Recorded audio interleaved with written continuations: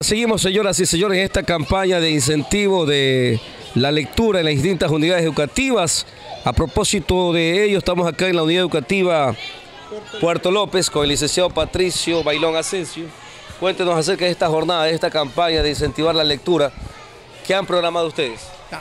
En primera instancia, muy buenos días. Ciudadanía del Cantón Puerto López, nosotros con el deber de ir cumpliendo las leyes y cada día pues respetando toda esta, situación que el gobierno a nivel de todo el país está por como es hoy día la fiesta de la lectura. Entonces nosotros estamos organizando este evento los años y la, fecha que nos están indicando las autoridades que competen con respecto a la educación. Entonces, en esta mañana vamos a iniciar a las 10 de la mañana con la fiesta de la lectura. Todos los cursos vamos a participar demostrando y motivando a leer.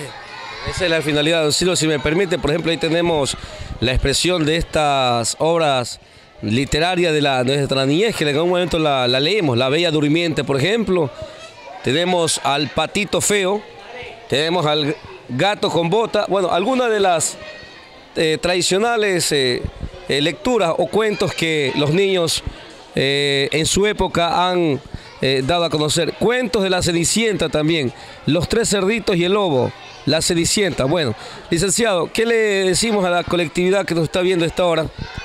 Fundamentalmente hoy que tenemos inundado nuestro medio de la tecnología, de las redes sociales, del internet. Hoy volvemos para fortalecer y recordar que tenemos que leer para formar a, los nuevos profesionales. Sinceramente que todo es importante en la vida, este, Tony.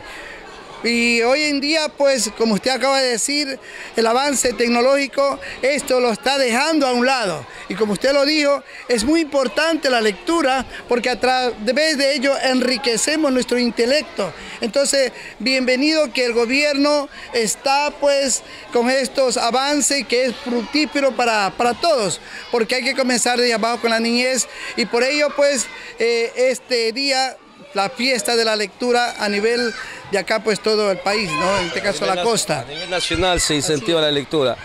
Con imágenes Silvio Mero, desde acá, la unidad educativa Puerto López, informó para ustedes Tony Quijijo.